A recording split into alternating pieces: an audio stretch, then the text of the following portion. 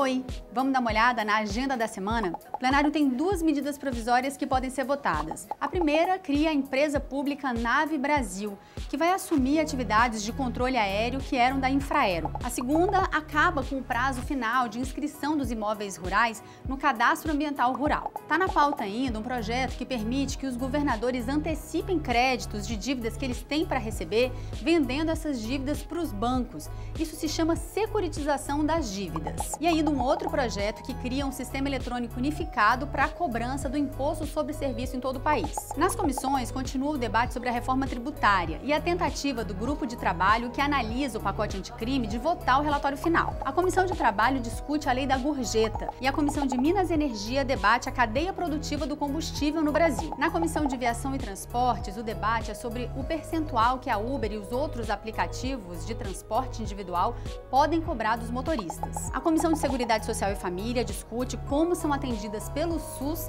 as mulheres que passam pela interrupção da gravidez. Na Comissão de Defesa do Consumidor, o tema é a qualidade e as cobranças indevidas dos serviços de telefonia e internet no Brasil. E a Comissão de Relações Exteriores discute o que deve ser entendido como a soberania do país. São os destaques da semana que você acompanha com a gente aqui pela TV Câmara. Para você, uma boa semana. Tchau!